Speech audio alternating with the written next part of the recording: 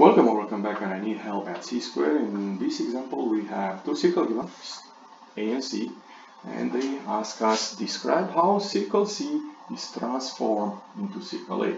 So in other words, this is the starting point and we're gonna get circle A. So if you notice, circle A is larger. So that means it should be a dilation.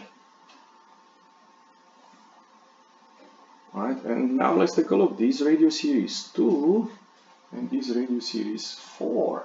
So the dilation will be an enlargement by a scale factor of 2. But what else we need to be aware of? We need to be aware that this, this circle was moved 1, 2, 3, 4, 5, 6, 7, 8, 8 units right, 1, two, three, four. I'm sorry, one, two, three, three units up. Okay, so that's the thing we can write here. Dilation, or in fact an enlargement,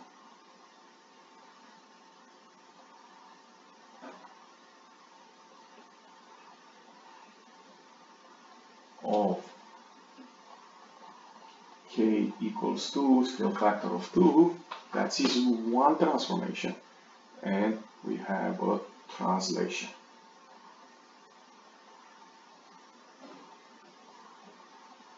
And the translation is by a vector 8, 3. That is one way to see it as a vector, right?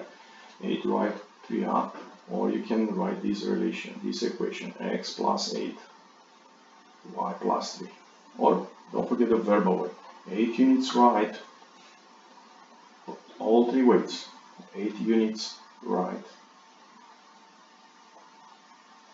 3 units up.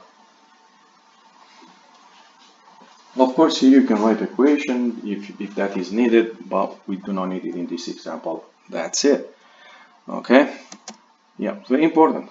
Remember this rigid and non-rigid transformation affect the center and the radius of the circle.